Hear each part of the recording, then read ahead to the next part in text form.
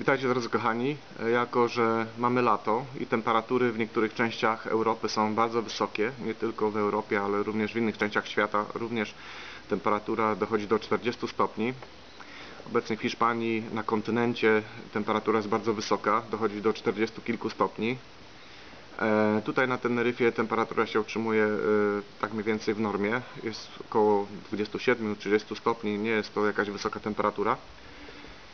W takim razie jak się odżywiać, jak e, po prostu e, reaguje nasze ciało w stosunku do takich upałów. Ja bym ch chciał powiedzieć, że e, wielokrotnie jest tak, że obniża nam się ciśnienie w związku z, z wielkim, z dużym upałem. Musimy dużo pić, dużo soków, dużo przetworów owocowo-warzywnych, żeby po prostu to ciało jakoś nawodnić odpowiednio, e, żeby mieć dobrą kondycję fizyczną i psychiczną, to ciało musi być po prostu nawodnione.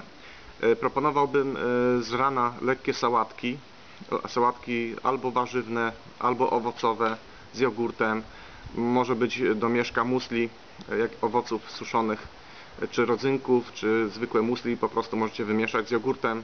Ja miałem wielokrotnie w Hiszpanii tak, że z rana tylko jeden kubek e, musli z jogurtem i to mi starczało na dłuższy okres czasu, na funkcjonowanie. A w połowie dnia jadłem melon, który po prostu, e, albo arbuz, który był soczysty, który był e, nawadniający. Także ja Wam, drodzy kochani, polecam właśnie takie sałatki owocowo-warzywne. Macie już niektórzy z Was zrobili sobie własne ogródki, własne tunele foliowe. Z tego co wiem, z tego co słyszałem, z tego co widziałem w Polsce, jak teraz byłem ostatnio także to jest po prostu dobry ruch.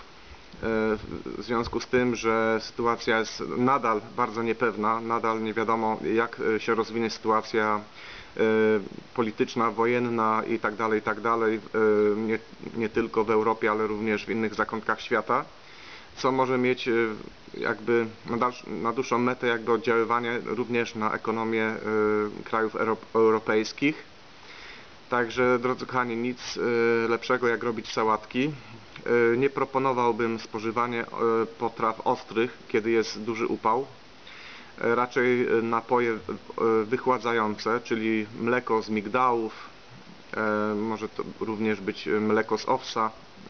Takie po prostu produkty, takie po prostu płyny, które wychładzają organizm, kiedy jest duży upał na zewnątrz, panuje duży upał, prawda? Również arbuz jest takim owocem, który może nas doskonale e, nawodnić, odświeżyć, e, ugasić pragnienie. E, arbuz, melon, te właśnie te owoce są przystosowane, do, żeby je spożywać latem.